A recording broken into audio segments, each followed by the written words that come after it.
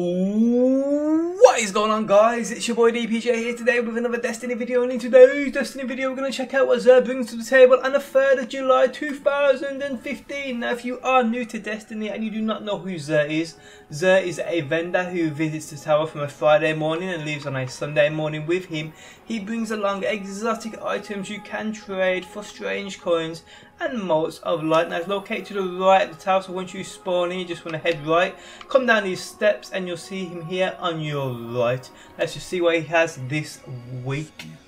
Okay, oh damn, not a very good week whatsoever. Okay, we have for the Titan an insurmountable Skullfort.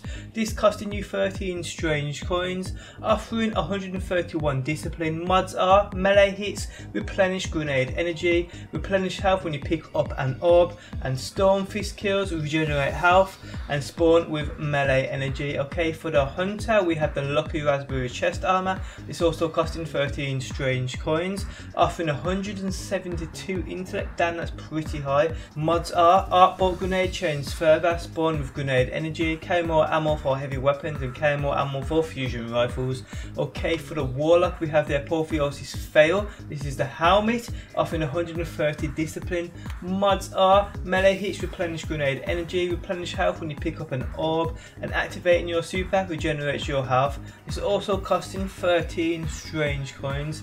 Weapon of the week we have the universal remote is costing 17 strange coins. Now this is actually a weapon not many people like. I actually do like it. If I run two shotguns in Crucible, I actually love using this weapon. I mean, it, it, I just like it, I really do. I probably wouldn't say waste your, or use your 17 strange coins if you're strapped for them, but if you've got plenty of strange coins and you don't own this weapon, you may as well get it. Uh, we have an exotic shard used to upgrade your pre-existing exotic armor and weapons, uh, costing 7 strange coins. And then we have an exotic engram costing 23 motes of light. This is a helmet, by the way. You'll buy this, you'll take it to the cryptarch and hopefully get something you need out of it. But guys, that is it. That's what Xur's got this week, the 3rd of July 2015. Not a great week for me whatsoever. I mean, I've got everything here.